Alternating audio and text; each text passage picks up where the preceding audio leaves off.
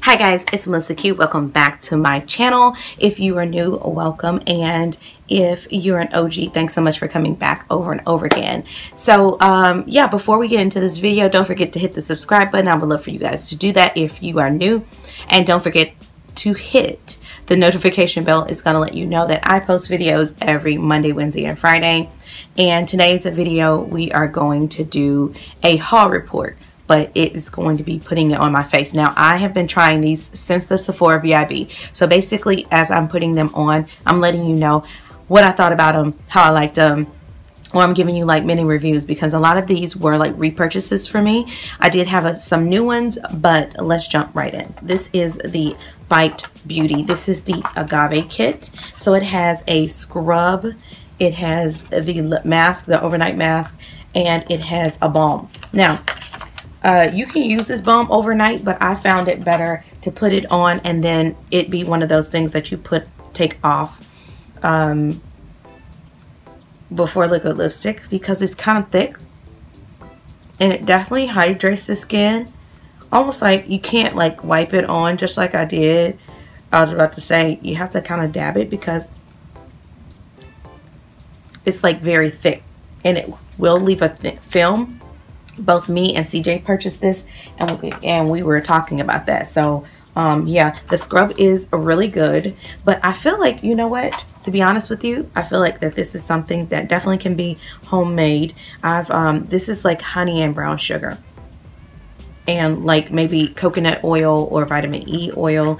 You can kind of make this a DIY. Let me know if you guys want to see that, but this is an agave uh, exfoliant and it's an agave sugar lip scrub. So basically agave nectar honey.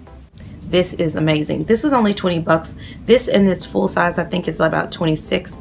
A little bit goes a long way and it's amazing. And it says this lasts for 24 months. It doesn't say how long this one lasts. But you have to use Bite Beauty pretty quickly.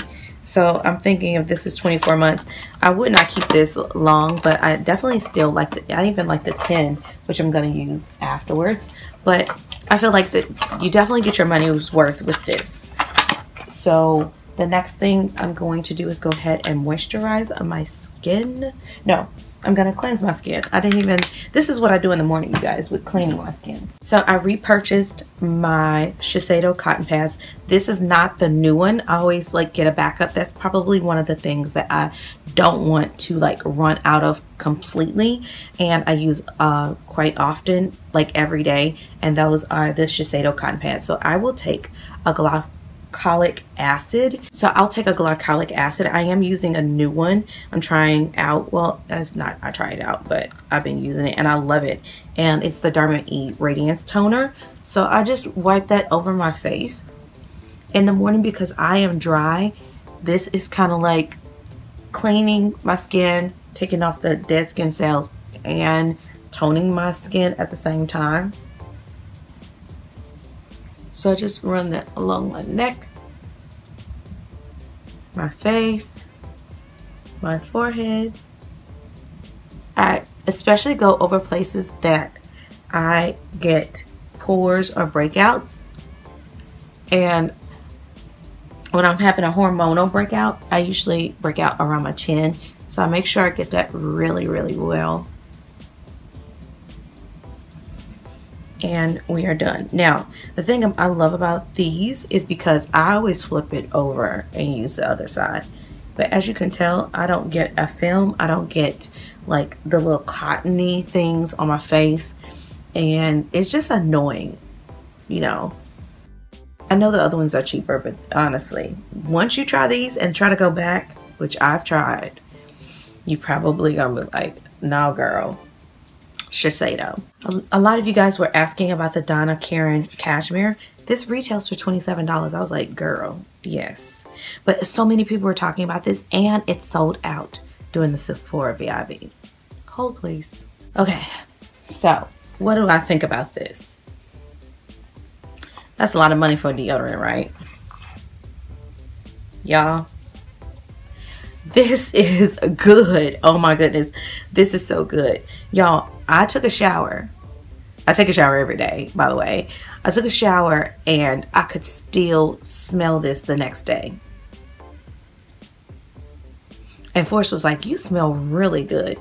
This is like a sophisticated, like if powder was like a, a elegant woman, that's how this smells. And it's like to the point where even if you like put this on and you ran out the house forgetting to put on perfume, you would be okay.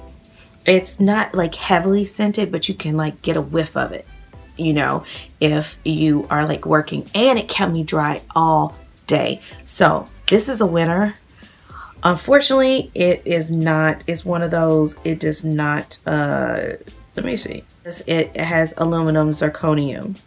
So it's an antiperspirant. So it's not, it's not, um, y'all, it's not one of those like aluminum free type of deodorants, but the healthy deodorant I actually have in my purse. I'm not going to take it out, but that's by, by Lavanilla. I will put, post a picture in this video and let you guys know the sport is my favorite okay i got the ones before but the sport actually kept me dry all day so i highly recommend that one but this if you are into antiperspirants this is good and yes i would repurchase it again i am looking for another antiperspirant that will keep me dry but the only one that I know of right now is Lavanilla. I've tried some aluminum free.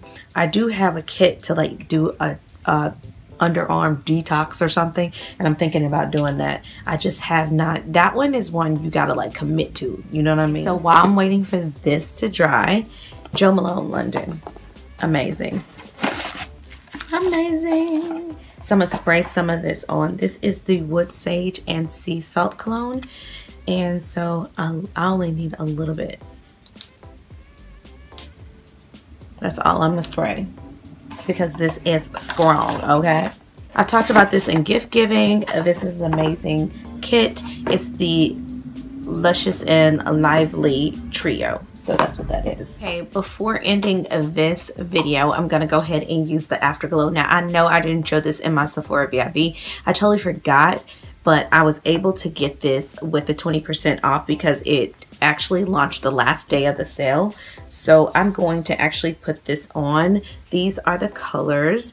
And y'all, this reminds me a lot of my Sweet palette by Anastasia. So let me know if you want me to come with a full review. But let me show you the swatches of these. But these are the swatches. I'm sorry, you guys. Um, my camera actually cut off on my last video and I did not realize it until the end.